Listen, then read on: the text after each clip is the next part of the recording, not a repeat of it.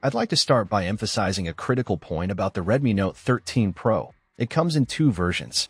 The Helio G99 is for the 4G variant, while the Snapdragon 7s Gen 2 powers the 5G model.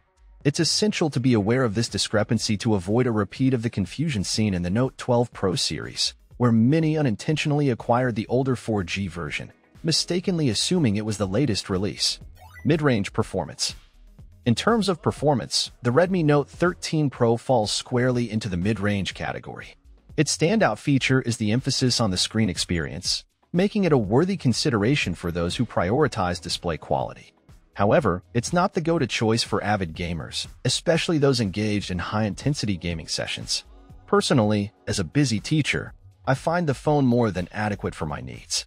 I've tested it with games like Mobile Legends and Call of Duty Mobile, and the performance has been smooth without any noticeable frame drops. For users like me, who require functionality beyond gaming, it seems well suited for at least the next two years. Alternative considerations. While the Redmi Note 13 Pro has its merits, it's worth exploring alternative options. The Redmi Note 12T Pro and Redmi K60E are suggested as potentially better choices, especially for those who prioritize casual gaming and reliable camera performance including steady 4K video recording. First impressions. Having recently purchased the Redmi Note 13 Pro, I am impressed with the initial experience. The device feels well-built and valuable in hand. The battery performance appears promising, providing ample usage time. Coming from the Mi Max 3, the display upgrade is noticeable and appreciated. However, I find the 120Hz refresh rate a bit too fast for my liking.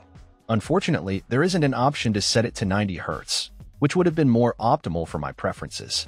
Camera Insights While I haven't extensively tested the camera, initial impressions from YouTube videos indicate a potential disparity between the selfie camera and the main camera. Some sources suggest the selfie camera might outperform the primary one. However, I reserve judgment until I've had a chance to explore the camera features more thoroughly. My first impressions of the Redmi Note 13 Pro are positive, particularly regarding build quality, battery life, and display. However, potential buyers should be mindful of their specific needs, especially if gaming or camera performance is a primary consideration.